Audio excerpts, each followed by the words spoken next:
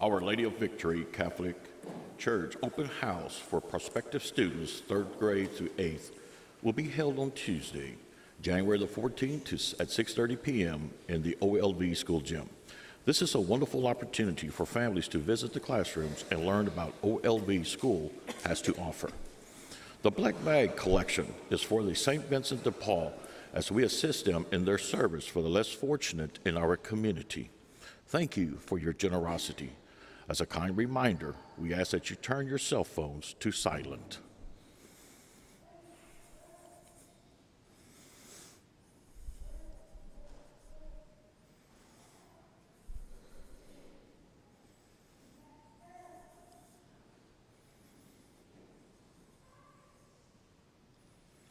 Good morning and welcome to the Cathedral of Our Lady of Victory as we celebrate the feast of the baptism of the Lord. The processional hymn is number 278, Baptized in Living Waters. Number 278.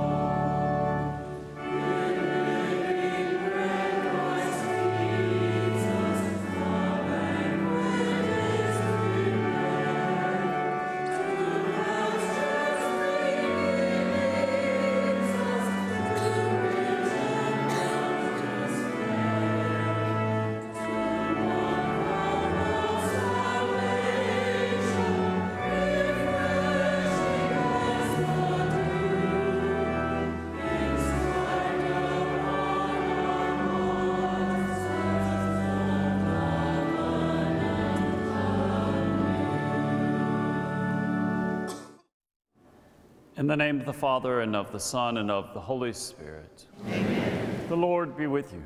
And with your spirit. Brethren, let us acknowledge our sins and so prepare ourselves to celebrate the sacred mysteries. I confess to Almighty God and to you, my brothers and sisters, that I have greatly sinned in my thoughts and in my words, in what I have done and what I have failed to do. Through my fault, through my fault, through my most grievous fault. Therefore I ask the Blessed Mary, the Virgin, all the angels and saints, and you, my brothers and sisters, to pray for me to the Lord our God. May Almighty God have mercy on us, forgive us our sins, and bring us to everlasting life.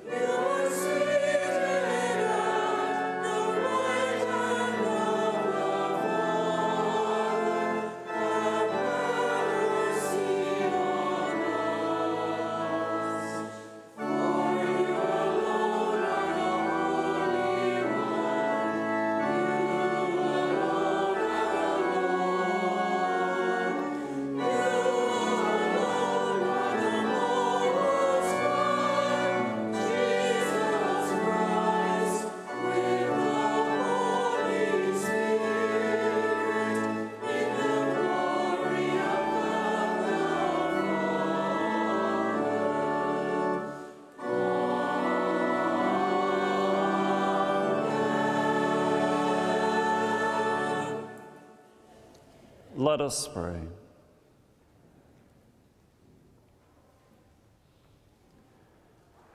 Almighty ever living God, who in Christ had been baptized in the river Jordan, and as the Holy Spirit descended upon him, solemnly declared him your beloved Son, grant that your children, by adoption, reborn of water and the Holy Spirit, may always be well pleasing to you through our Lord Jesus Christ, your Son, who lives and reigns with you in the unity of the Holy Spirit, one God, forever and ever.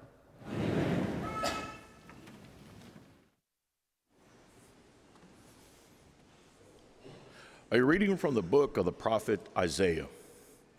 Thus says the Lord Here is my servant, whom I uphold, my chosen one, with whom I am pleased, upon whom I have put my spirit.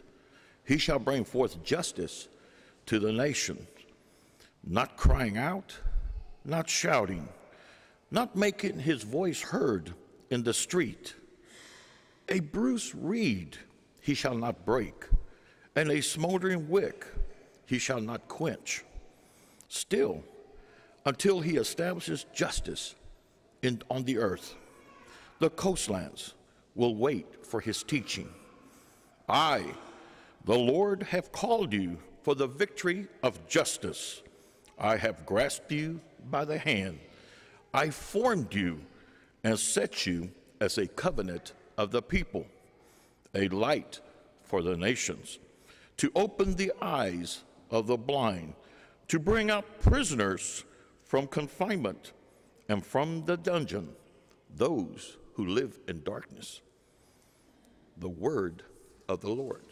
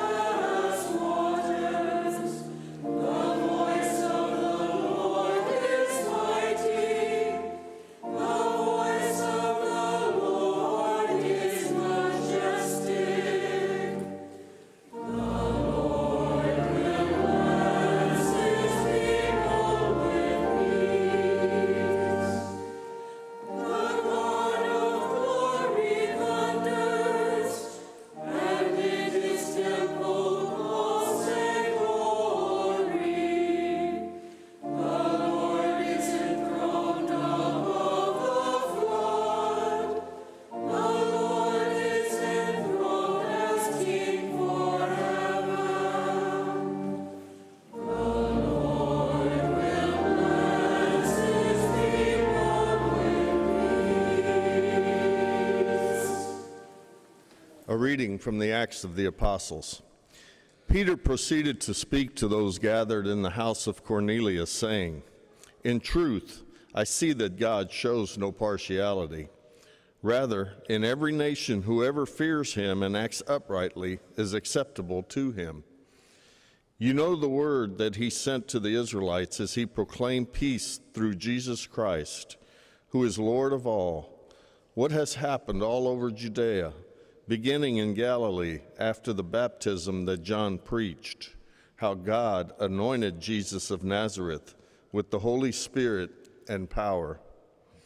He went about doing good and healing all those oppressed by the devil, for God was with him.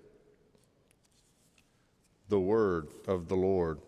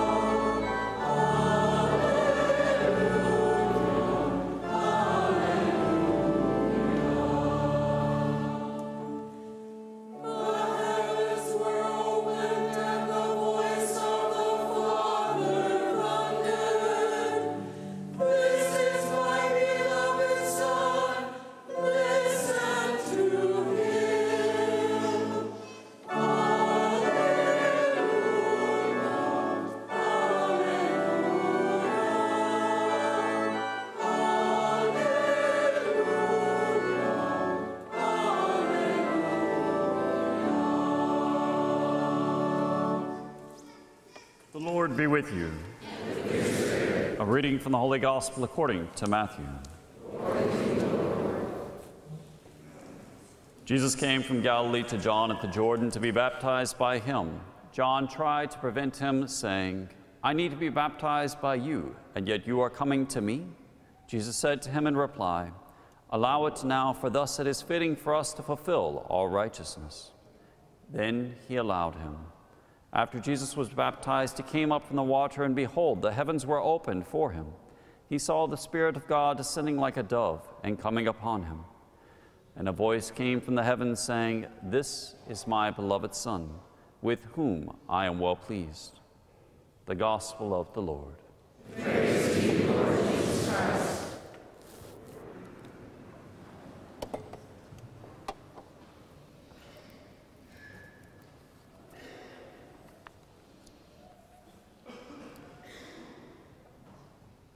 In today's gospel, we hear of a dialogue of John the Baptist and Jesus, his cousin.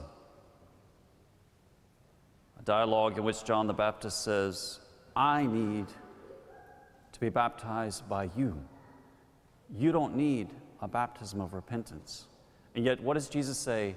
Jesus says, Yes, we're going to do it. Why? To fulfill all righteousness to fulfill the will of the Father, to fulfill the will of what Jesus came for. The reason why we celebrated Christmas and the Nativity. Why? Jesus looks to another baptism, a baptism of blood in which he will shed upon the cross for each one of us to wash our sins clean when we are baptized at the baptismal font. And the water that Jesus went in was dirty. 2005, at the age of 19, I went with my mother, when I was a religious brother, to the Holy Land on pilgrimage with Father Mitch Pacwa. And we went to the River Jordan, and it was hot, and you could feel the sun like beating down on you. And when we got to the river, instead of being dry, it was humid, and it was dirty. And there were catfish swimming around in it, and I couldn't believe it. I thought they were only in Texas.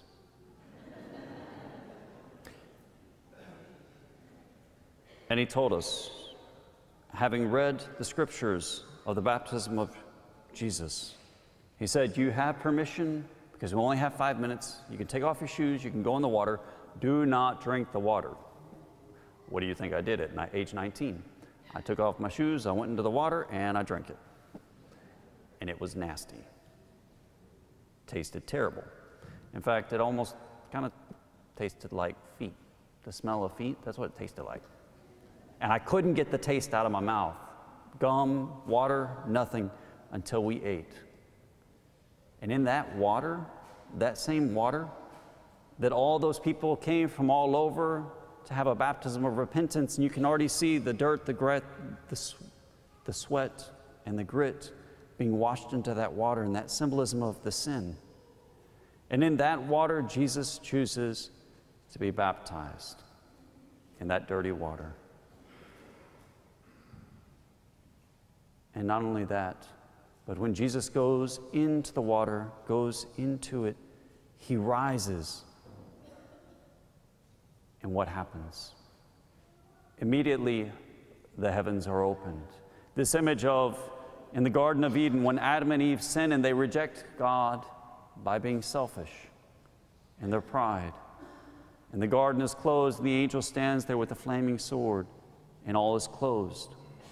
At this moment, when Jesus enters into that water, it says the heavens are torn asunder, they're opened back up. And what happens? Two witnesses. First, the Spirit, in the form of a dove, comes and rests upon him. As Catholics, we believe that Jesus Christ is the God man. At his birth, he is the God man. We do not believe that at this moment when the dove came upon him, suddenly Jesus said, Ah, I'm God. No. He was always God Father, Son, Holy Spirit. And there's a witness of the dove upon him. And not just that, but it also shows that image of Noah when in the first flood, when humanity in its sin was almost completely destroyed, a dove was sent out and a dove came back with hope, that of the olive branch. So now another dove comes in which humanity, having been plunged through Jesus Christ into the waters, those dirty waters, comes back. And not just that, the second witness, that of the Father's voice. This is my beloved Son, with whom I am well pleased. This is my beloved Son. And why is he well pleased? In a sense, God the Father is saying, This is my beloved Son, who is the Redeemer of the world, who will come in his mercy and sacrifice himself to redeem all of you. And not just that, not only is he my beloved Son, by the very actions of that and your baptism, you become a beloved daughter. You become a beloved son. And that reality of the gift of Christ for each one of us, we hold and believe in our baptism. At the cathedral here, we have a lot of baptisms, which shows that we are a vibrant, lively church. And not just the adults at the Easter Vigil, but oftentimes the children. And at every baptism, I like to ask the question okay, who here has been at a baptism in the past year? And usually only a few people raise their hands, unless it's a family full of a bunch of little kids and they're like, yeah, I was there last month for my, my nephew and niece. And then I go through what are we about to do? So that they don't think, well, as Catholics, they go in, they say a bunch of words, Father puts some oil on them, puts his hands on them, and then they pour water on them and they're done. Suddenly they're saved. No. There's more than just the action.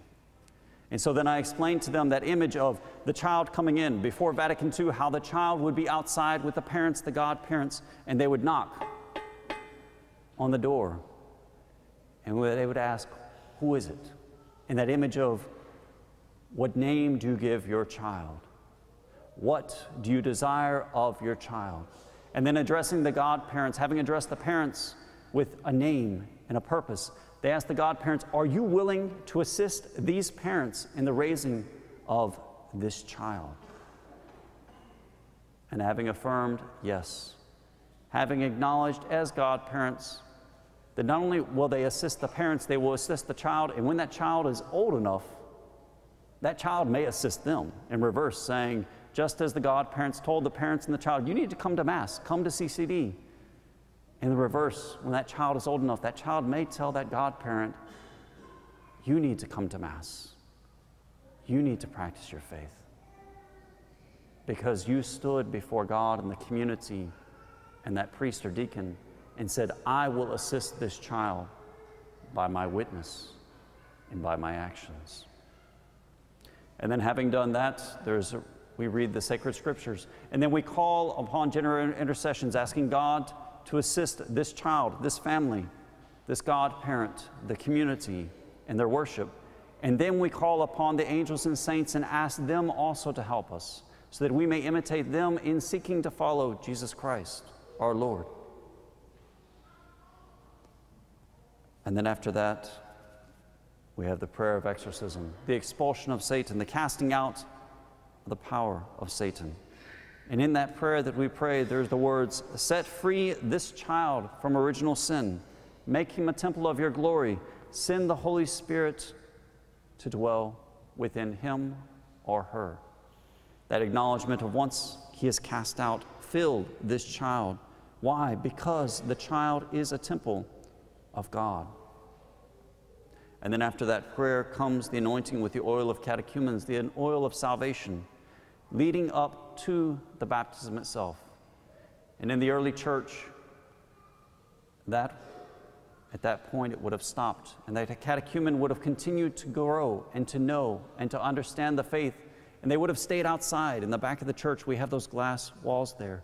They would have curtained them off, and they would have been had to leave because they were in the catechumenate. They were learning about the faith that those who had gone before had professed those in our own catechumenate who are here sitting, who are preparing themselves either for baptism, for their profession of faith, as they grow in knowledge of what we profess. And really, sometimes we need to grow with them because we don't know our faith well enough.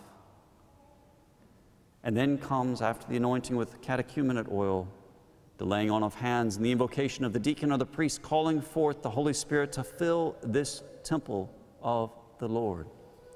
And then there's a procession, having processed from the back the, from the church to the baptismal font. And at the font, there's the blessing of the water, and in the blessing of the water, there's an acknowledgement of salvation history from the beginning to the present. And the water is blessed with all present. Following that, the parents, the godparents, and the community make a profession of faith, a renunciation of sin, acknowledging that on behalf of this child, we profess our faith. On behalf of this child, we renounce sin. And those that say, well, we shouldn't do infant baptism, well, if we go to scriptures, Jesus says two things. Well, one,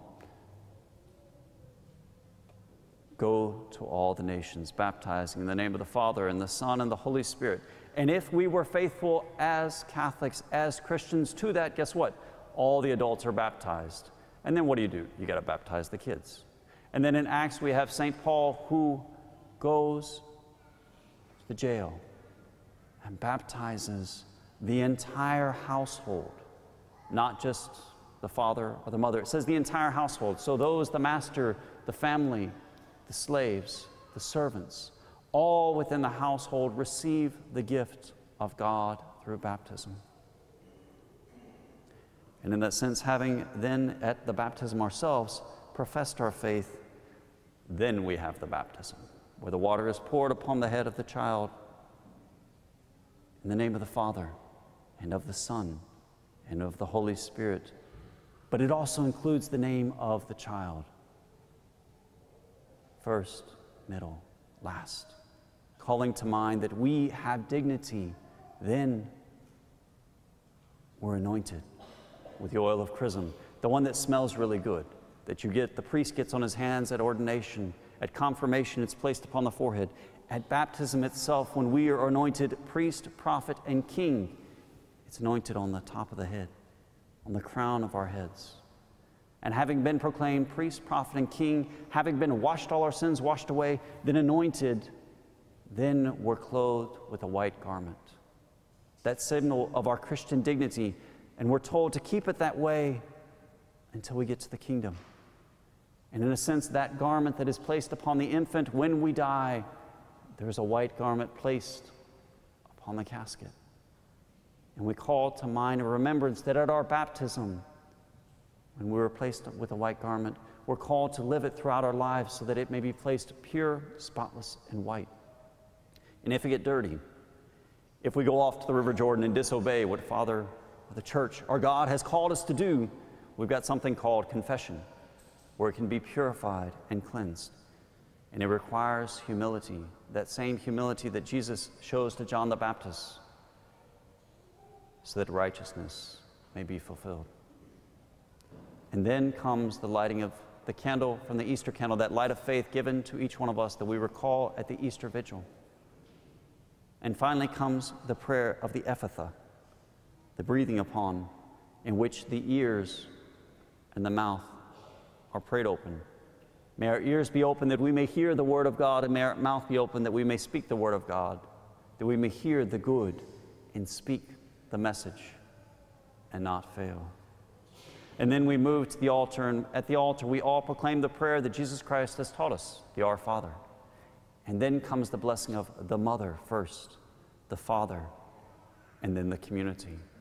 And we acknowledge as a family that this is the newest member of the church, that where we have been, that child is, and that that child will be where we now are.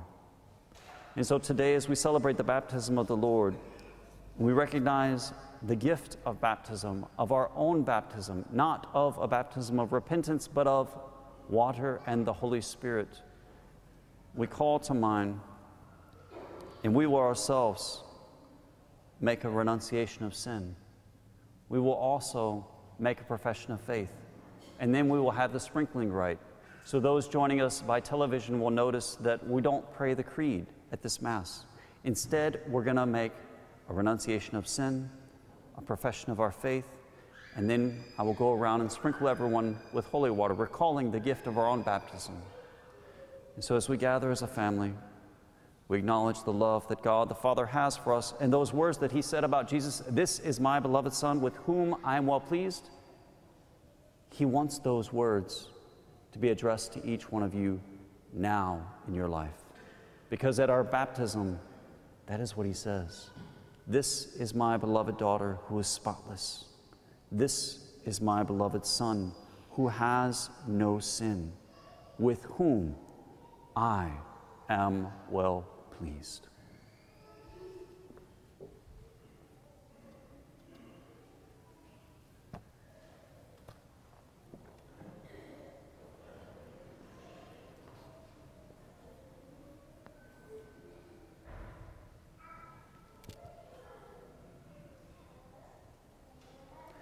Would our candidates and catechumens please come forward?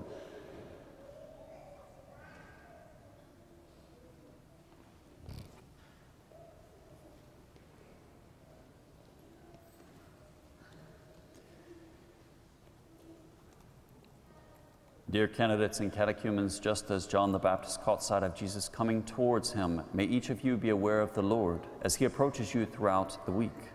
Let him open your eyes to see just how you can heal the sick and the lonely, reach out to the poor, and challenge all forms of evil.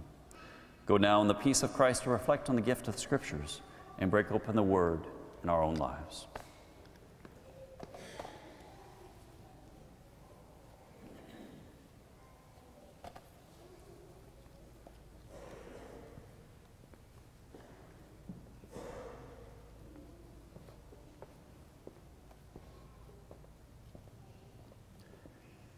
Please stand.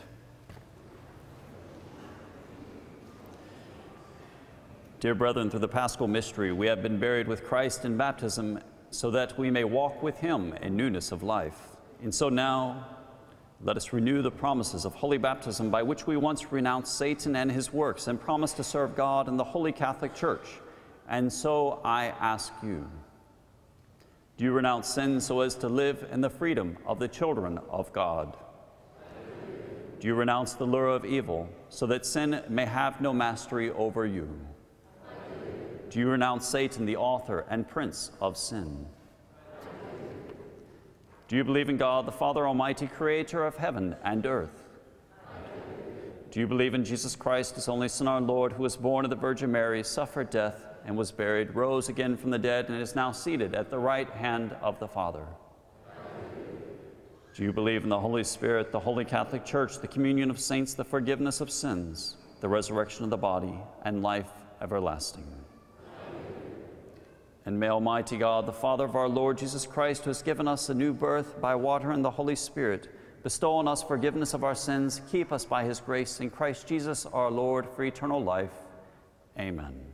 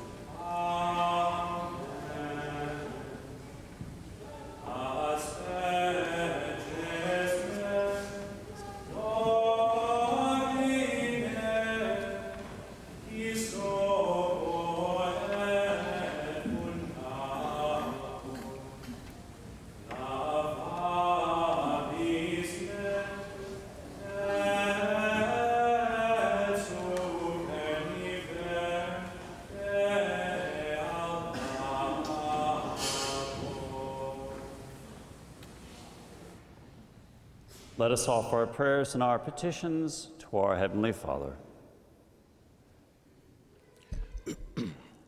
For God's holy church, may she be a sign and instrument of God's love, faithfully sharing the mercy and compassion of the Christ in the world. We pray to the Lord. For our nation's civil servants, may they be faith filled advocates seeking justice and care for the least among us, including unborn. We pray the, to the Lord. For those who have become lukewarm in their faith, may the Spirit giving their baptism rekindle faith and love in their hearts. We pray to the Lord. For our candidates and catechumens, may they recognize the Lord in the sick, the lonely, the poor, and oppressed, and respond to them with the Lord's compassion and love. We pray to the Lord. For all the faithful departed, and for the repose of the soul of Otto Schultz and Raymond Winsky, for whom this Mass is offered, we pray to the Lord. For the needs listed in our parish intention book, and for those we hold in the silence of our hearts, we pray to the Lord. We pray for all those who have fallen away from the church. May they recall the gift of their baptism as sons and daughters of the Father as He longs them to return to an active, merciful ministry as sons of the Father and daughters. We pray to the Lord. Heavenly Father, we offer these prayers and petitions. We ask that you hear and answer them. Send the Holy Spirit into our hearts that we may be a fire to do your will through Christ our Lord.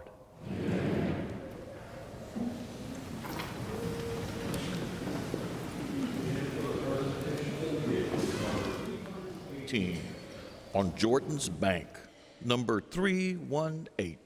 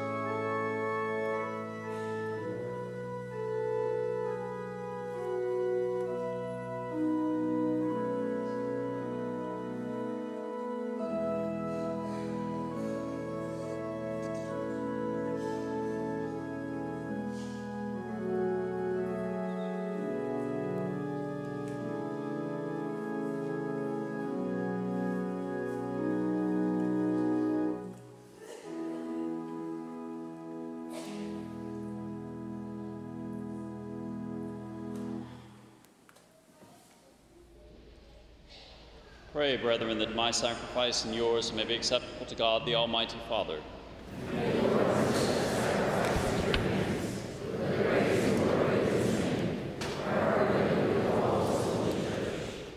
Accept, O Lord, the offerings we have brought to honor the revealing of your beloved Son, so that the oblation of your faithful may be transformed into the sacrifice of him who willed in his compassion to wash away the sins of the world, who lives and reigns forever and ever.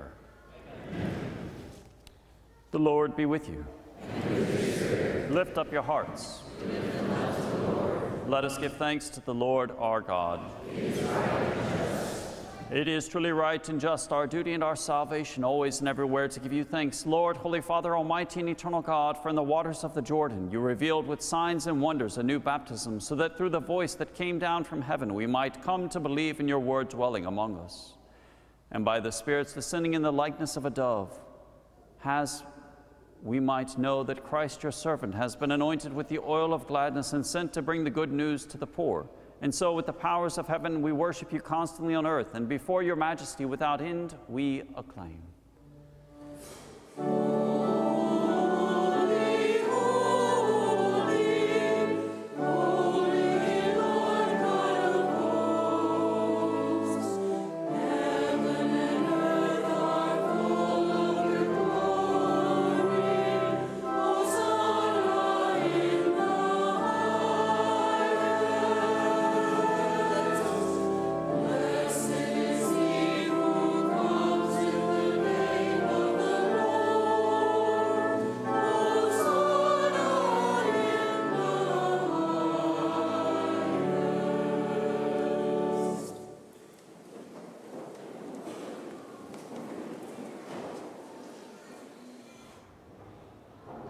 Indeed holy, O Lord, the fount of all holiness. Make holy, therefore, these gifts, we pray, by sending down your Spirit upon them like the dewfall, so that they may become for us the body and blood of our Lord Jesus Christ. At the time he was betrayed and entered willingly into his passion, he took bread, and giving thanks, broke it, and gave it to his disciples, saying, Take this, all of you, and eat of it, for this is my body which will be given up for you.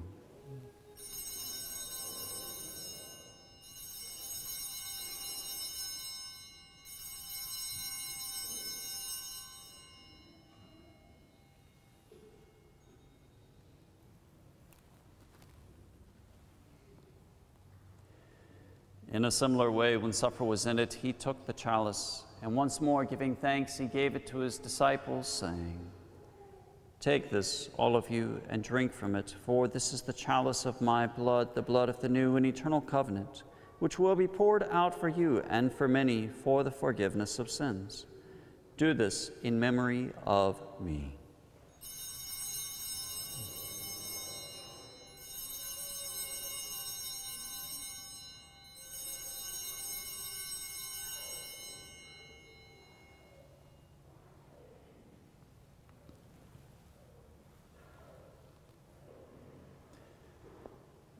The mystery of faith.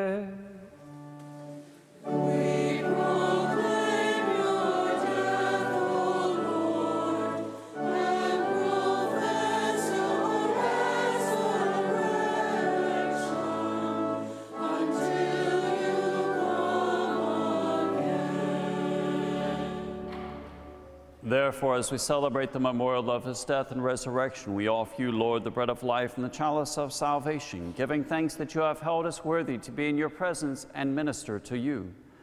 Humbly we pray that partaking of the body and blood of Christ may be gathered into one by the Holy Spirit. Remember, Lord, your church spread throughout the world and bring her to the fullness of charity, together with Francis our Pope and Brendan our Bishop and all the clergy. Remember also our brothers and sisters who have fallen asleep in the hope of the resurrection and all who have died in your mercy. Welcome them into the light of your face. Have mercy on us all, we pray, that with the Blessed Virgin Mary, Mother of God, with blessed Joseph, her spouse, with the blessed apostles and all the saints who have pleased you throughout the ages, we may merit to be co-heirs to eternal life and may praise and glorify you through your Son, Jesus Christ.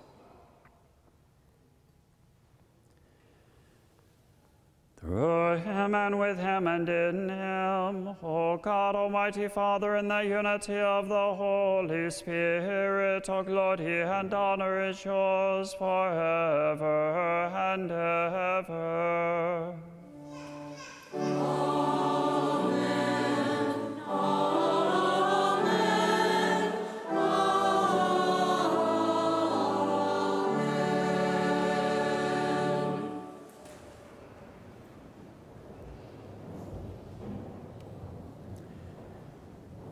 At the Savior's command, informed by divine teaching, we dare to say, Our Father,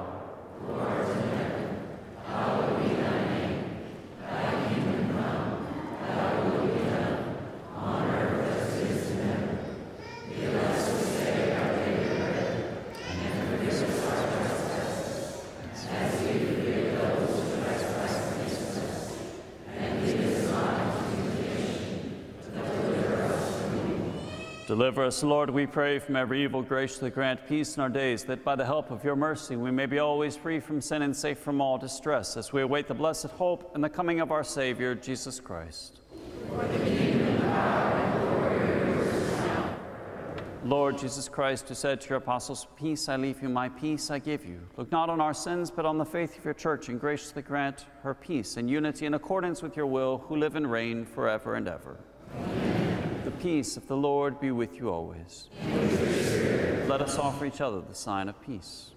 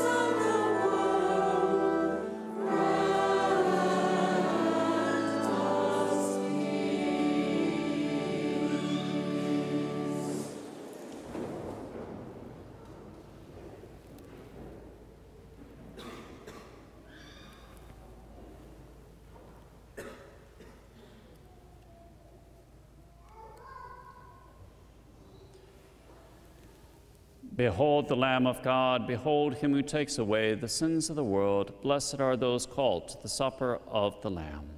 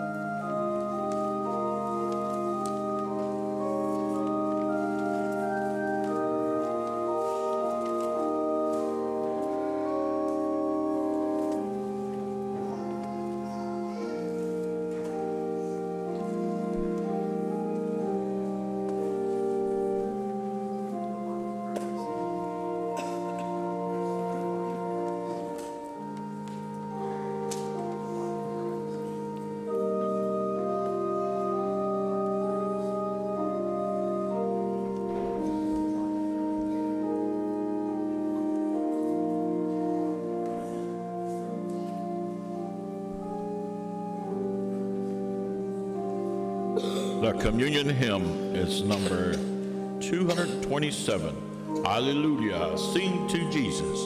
Number 227.